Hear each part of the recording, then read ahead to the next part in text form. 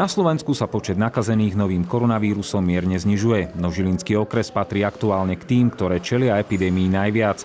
Veď za posledných 24 hodín prijala na covidové oddelenie fakultná nemocnica s poliklinikou v Žiline 13 pacientov. Podporiť zdravotníkov prišla do Žilinskej nemocnice aj prezidentka Slovenskej republiky Zuzana Čaputová. Ja som veľmi rada, že som mohla stretnúť zástupcov lekárov, zdravotných sestier, personál a vedenie nemocnice, aby som sa im predovšetkým poďakovala. Tie slova vďaky, uh, nikdy ich nebude dosť za to všetko, čo oni robia, v akých podmienkach náročných pracujú, ako dlho to trvá, koľko hodín uh, denne trávia svojou prácou. Chcem aj uh, touto cestou opakovane poprosiť sestričky z iných regiónov, ak je to možné, tam, kde je tá situácia trochu lepšia, poprosiť ich o solidaritu práve s touto nemocnicou a inými nemocnicami, ktoré sú v podobnej situácii, aby, ak sa to dá, možno prišli aspoň na pár dní vypomôcť. To, že je dlhodobo poddimenzovaný stav zdravotníckého personálu, si uvedomuje aj Zuzana Čaputová, ktorá bude žiadať od nového ministra zdravotníctva jednoznačné a cielené riešenia, aby sa tento stav zmenil. Potrebujeme vyslať jednoznačný a jasný signál stabilizácie zdravotníckého personálu. Znamená to jednak ich finančné docenenie, ale aj vytvorenie zaujímavých pracovných podmienok. Všetci vieme, že ten nápor na nich trvá veľmi dlho. Výsledkom toho náporu môže byť, že sa rozhodnú odísť z tejto profesie alebo odídu za lepšími podmienkami pracovnými.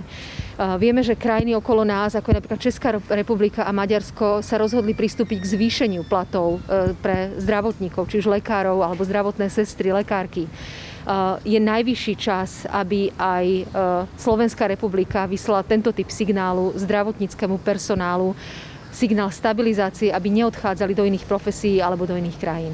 Fakultná nemocnica s poliklinikou v Žiline dokáže na teraz využiť na COVID oddelení svoj zdravotnícky personál a zároveň zabezpečiť akútnu operatívu, no v prípade zhoršenia situácie avizuje, že bude musieť osloviť okolité nemocnice.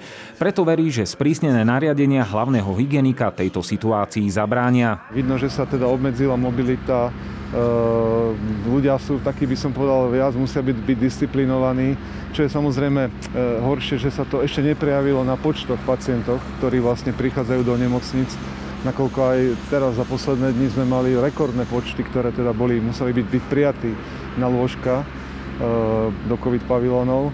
A verím tomu, že keď sa tieto opatrenia ešte budú uplatňovať ďalšie, ďalšie dni, tak aj my pocítime určitú úľavu a bude proste tých pacientov menej. V obci Varín môžu obyvateľia využiť objednávanie na antigénové testovanie pomocou elektronického systému. Systém počas týždňa umožní ľuďom prihlásiť sa na vybraný termín. Počas soboty môžu obyvateľia využiť až dve odberové miesta na základnej škole. Kapacita sa teda navýši až o 500 miest. Ľudia si na elektronický systém rýchlo navykli. Je to jednoduché úplne, už si nás sa naučili sa objednávať cez internet, vždycky streda alebo štvrtok to vybehne na stránke obce, objednajú sa a už vedia, že kedy majú prísť s presným časom. Vo Varíne chceli zabezpečiť čo najlepšie podmienky pre testovaných. To sa prejavilo aj na čase strávenom testovanými v interiéri. Zavedeniu systému nás viedlo to, že vlastne, aby sme minimalizovali čas ľudí, e, ktorý tu budú, čas, ktorý tu budú ľudia čakať na odbernom mieste. To znamená, že aby čo najskôr, aby prišli, išli hneď dovnútra, odobral sa im e, vzorka a aby išli preč. Spomínané zrýchlenie však neprichádza len pre obyvateľov, ale aj pre odberné týmy. Pre nich zohráva elektronické objednávanie mimoriadnu úlohu v zjednodušení práce. Tam je všetko vlastne, všetky údaje sú tam vypísané, čiže Sice jeden musí odpísať ten certifikát, ale potom už keď budú iba SMS-ky, tak to bude úplne jednoduché. Stačí zakliknúť a vám sa vlastne hneď pošle SMS-ka. Vo Varíne tak prešli na nový systém. Ten umožňuje práve spomínanú výhodu v posielaní SMS-iek. Obyvatelia tak nepotrebujú so sebou nosiť vypísaný certifikát, ale informáciu o výsledku môžu predložiť zo svojho telefónu. Čo týka rezervácie, tak rezervovali sme doteraz cez iný systém, ale tam fungovalo to len na, na základe, e, teda iba rezervácia, nebol ten ďalší proces, to znamená, že nebolo možnosť odosielať SMS-ky, či je človek pozitívny alebo negatívny. Tam to využíva tak 500 ľudí denne. Objednávanie a odberné miesta môžu využiť aj obyvateľia iných obcí. Tí si však musia postražiť termín, na ktorý sa môžu objednať. Máme to v pláne tak, že od pondelka, od útorka vlastne do štvrtku sa bude registrovať iba Varinčania a v piatok sa to uvoľnia voľné kapacity pre aj obyvateľov iných obcí. Spomínanú kapacitu teda od uplynulého víkendu navýšili. Občania tak majú počas soboty k dispozícii na základnej škole ďalší odberný tím. Teraz sme prvý víkend tak, že v sobotu sú vlastne dva odberové týmy, čiže včera bolo viac pretestovaných a objednaných a dneska sme, že jeden odberový tým. Testovanie vo Varíne teda pokračuje nasledujúci víkend. Od útorka do štvrtku je prihlasovanie otvorené pre Varínčanov, v piatok sa prihlasovanie otvorí aj pre obyvateľov z iných obcí. Jedna z najvyťaženejších ciest v Žiline ulica 1. mája bude na najbližšie dva mesiace uzatvorená. Dôvodom je výmena starého kanalizačného potrubia. Túto rekonštrukciu realizuje spoločnosť Sevak. Rekonštrukčné práce budú realizované v dĺžke 105 metrov v úseku ulice 1. mája od križovatky s ulicou Jana Milca po križovatku s ulicou Štefánikova. Dôvodom rekonštručných prác je značné poškodenie betónového kanalizačného potrubia producentom kyslých vôd. Celková doba realizácie vrátane konečných povrchových úprav je predpokladaná do dvoch mesiacov od začatia realizácie. Práce dodávateľsky zabezpečuje spoločnosť Tukon. Bližšie informácie o rekonštrukcii sú uvedené na stránke www.sevak.sk. Stavebné práce začali už v pondelok v skorých ranných hodinách. Vodiči, ktorí týmto úsekom prechádzajú, ho môžu obísť po vyznačených trasách. Keďže je však táto cesta pomerne frekventovaná, mali by zároveň zvýšiť pozornosť a dbať na bezpečnosť chodcov a uvoľniť priac záchranným zložkám a autobusom. So stavebnými prácami sa začalo v ranných hodinách 22. Eh, marca. Eh, výnimka na prejazd ulicou 1. mája eh, bude platiť pre vozidla mestskej hromadnej dopravy a rovnako tak pre záchranárske zložky Slovenskej republiky. Eh, my prosíme občanov, aby v čase uzavierky tejto ulice rešpektovali dočasné dopravné značenia, aby nedochádzalo ku konfliktným a komplikovaným situáciám a teda situáciám, ktoré by stiažovali túto stavebnú činnosť. Za problémy, ktoré sú spôsobené e, touto uzávierkou, sa občanom ospravedlňujeme. Žilinský samozprávny kraj vyhlásil tento rok za rok dobrovoľníctva. Jeho cieľom nie je len rozvoj dobrovoľnej a komunikačnej činnosti mládeže i dospelých, ale aj uznanie tým, ktorí pomáhajú pri rôznych činnostiach po celom Žilinskom kraji. Žijeme náročnú dobu a každý si uvedomuje dôležitosť pomoci v každej oblasti. Rok pandémie máme za sebou, vidíme, ako sme v najťažších chvíľach odkázaní buď sami na seba, alebo na neformálnu pomoc iných dobrovoľníkov. Týmto gestom chceme poďakovať všetkým aktívnym ľuďom a ukázať, že nám na nich záleží. Žilinská župa sa preto rozhodla vyhlásiť rok dobrovoľníctva. Ide o výnimočný projekt, ktorý bude trvať do februára roku 2022. Žilinský samozprávny kraj prostredníctvom sekcie pre mládež pripravil množstvo aktivít, do ktorých sa postupne zapojí až 15 organizácií združujúcich dobrovoľníkov z celého kraja. Pre rozvoj ich záslužnej činnosti predstavila župa v spolupráci s partnermi prvý projekt. Žilinský samozprávny kraj v spolupráci a s prispením dopravcov Ariva a Sad Žilina rozhodla podporiť dobrovoľníkov hlavne tých, ktorí sa dlhodobo angažujú v nejakej dobrovoľníckej službe. Na základe dobropoukážky, ktorá bude distribuovaná sekciou pre mládež, bude distribuovaná priamo overeným organizáciám, s ktorými pracujú e, dobrovoľníci, budú mať nárok na dopravný kredit v hodnote 20 eur na projekte sa finančne podielajú aj samotní dopravcovia, ktorí na bezplatnú cestovnú kartu prispejú 50-percentnou sumou. Zvyšnú časť uhradí Žilinský samozprávny kraj, no túto kartu získajú len dobrovoľníci, ktorí odpracovali cez organizácie určitý počet hodín. Snažili sme sa to formalizovať tak, aby každý dobrovoľník, ktorý vykonáva dlhodobo službu, to znamená, že má už odpracovaných viac ako 100 e, dobrovoľníckých hodín ročne, mal na ňu nárok, a zároveň má zmluvu s príslušnou dobrovoľníckou organizáciou, ktorá získala značku kvality. Kartu si budú môcť záujemcovia dobiť v klientských centrách dopravcov. S tým, že si veľmi vážime tých ľudí, ktorí dneska svoju energiu, svoj čas, osobný čas e, venujú vlastne ľuďom, ktorí to potrebujú, čím samozrejme získavajú aj nejaké svoje e, skúsenosti a možno aj priateľstva a vzťahy.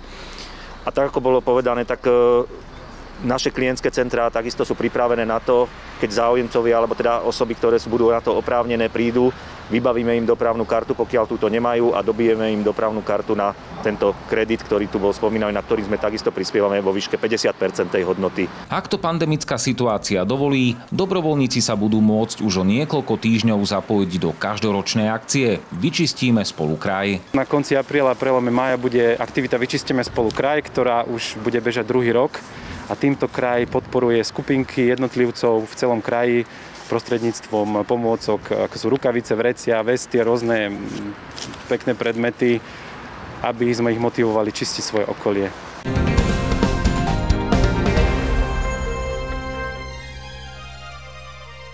Rezerva Emeška Žilina hostila v nedeľnom razivom počasí lídra druhej najvyššej futbalovej súťaže Banskú Bystricu. Šošoni posilnení o viacerých hráčov a mústva nestačili na Duklu a to aj napriek tomu, že od 52.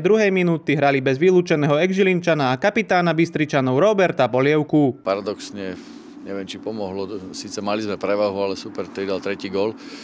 Zase po našej nedôslednosti v 16 a tak mali sme, mali sme prevahu, mali sme tlak, ale, ale nie tam v 16 sme boli nedôrazní. Podobne ako tréner Veselý to videl aj Jan Bernát. Mladý hráč si s podobnými situáciami počas kariéry už viackrát prešiel. Býva to tak niektorých zápasov, už viackrát som to zažil, že tá černá nám aj ubližila a Možno, že aj teraz, ale ja si myslím, že tam mali iba jednu tú akciu, proste, či tam prešla lopta do tej šance, takže neviem, ťažko sa mi hľadajú slova. Šošoni inkasovali zo štandardnej situácie aj pred týždňom v stredu, keď sa po rohovom kope tešili futbalisti Komárna. Niektoré situácie hlavne pred tým druhým gólom sa dalo vyriešiť jednoducho do autu a my sme to vyriešili rohovým kopom. A, takže toto sú tie, tie situácie, ktoré, ktoré, na ktorých sa musia poučiť chalani hrať niekedy jednoduchšie v okolí našej 16. Bystrica tak potvrdila, že nie je na čele tabulky náhodou. Kvalitu ukázala aj pri spomínanej hre v oslabení. Sú skúsení, majú skúsený tým, aj napriek tomu, že boli o jedného menej, si počkali na svoju šancu, hoci aj so šťastím, ale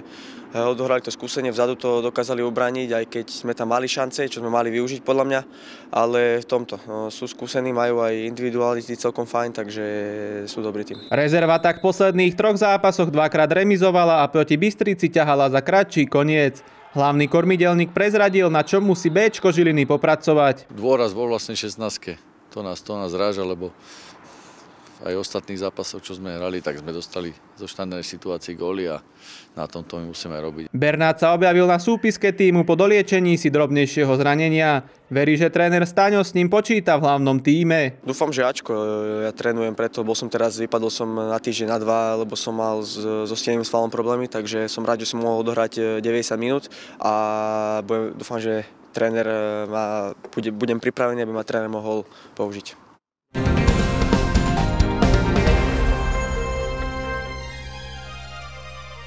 Žilinské Bčko pokračovalo v anglickom týždni súbojom proti lídrovi z Banskej Bystrice. Šošoni zaznamenali excelentný vstup do duelu a viedli 2-0. Napokon však s lídrom prehrali v pomere 2-3. Tak samozrejme sklamanie. Vyhrávate 2-0 a prehráte o ten zápas 3-2. Mali sme ho veľmi dobre rozohratý. Bohužiaľ dostali sme gól do šatne na 2-1 a hneď na začiatku druhého polčasu na 2-2. To sa nám nesmie stávať, ale Bohužiaľ opakuje sa to a na tomto my musíme popracovať. V zostave sa objavil aj Jan Bernát, ktorý si doliečil drobné zranenie a tréner Veselý mu dal priestor na získanie zápasového tempa. Tak ťažko sa mi teraz hľadajú slova, lebo ten zápas sme mali podľa mňa my v, v rukách, boli sme lepším tímom a sám nechápem, ako sme ten zápas mohli prehrať. Bernát sa i hneď zapísal aj na streleckú listinu. V 31. minúte po jeho zakončení lovil Hruška strelu z brány po druhý krát. Tak videl som, že Tibor Slobeník dostal loptu, stopery boli široko od seba, tak som si zakričal, výborne ma videl, prestrčil mi to tam a potom som už iba sa snažil uložiť tú loptu okolo brankára. Bystričanom sa pred odchodom do šatne podarilo streliť kontaktný gól, keď v 45. minúte prekonal Teplana Will Weber. Gól do šatne vždy s mústvom zamáva, preto sa domáci tréner snažil cez prestávku Chalanovu smerniť. Upozorňovali sme, že super má veľa veľmi dobré štandardné situácie a na to musíme dávať pozor a jednu sme hneď druhom polčase na začiatku spravili a super z toho vyrovnal. Potom sme chceli, získali sme, získali sme prevahu, dostávali sme pre 16, ale, ale v 16 sme boli takí zbrekli. Nejak do zakončenia sme sa nedostávali, lebo sme to všetko tlačili stredom. Takže škoda tohto zápasu. V šatni sme si hovorili, že za, začiatok musíme, musíme ustať a prišiel zbytočný roh, e, prišiel gól e, a zase to ostalo len šatni tieto slova a bohužiaľ ten zápas sme nakoniec úplne stratili. Šošoni tak nedokázali už so zápasom nič spraviť aj napriek vylúčeniu polievku. O tom obránení štandardiek aj o pozícii Jana Bernáta Vemeška Žilina sa porozprávame v stredajšej reportáži.